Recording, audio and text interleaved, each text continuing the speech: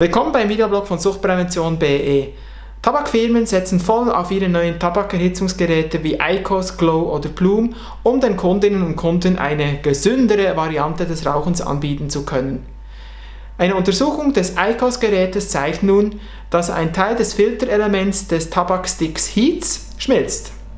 Konkret handelt es sich bei diesem teilweise geschmolzenen Filterelement um Polylactit, auch PLA genannt.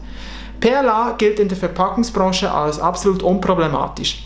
Anders sieht es aus, wenn PLA inhaliert wird, denn es können sich ultrafeine Partikel freisetzen, die eben auch in die Lunge gelangen können.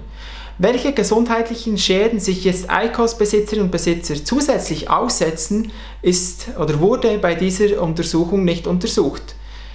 Auf jeden Fall hinterlässt es ein mulmiges Gefühl. Gerne könnt ihr natürlich euch selber ein Bild machen und ne, äh, könnt euch die gebrauchte äh, Tabakstick-Heats äh, nehmen und auseinandernehmen und ihr findet dann ein so, solch ein kurzes äh, Teil, das ist eben das Polylactit-Element, das Filterelement. Das findet ihr etwa in dieser Höhe und schaut es euch an, ob es eben teilweise geschmolzen ist oder nicht.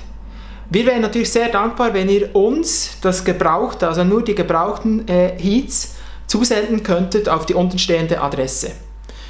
Nun, eine nicht so erfreuliche Nachricht. Ich hoffe natürlich, dass euch das Video trotzdem gefallen hat und gerne könnt ihr uns äh, einen Beitrag zukommen lassen oder Fragen stellen. Wir sind natürlich offen und ich freue mich, wenn ich dich wieder höre oder sehe.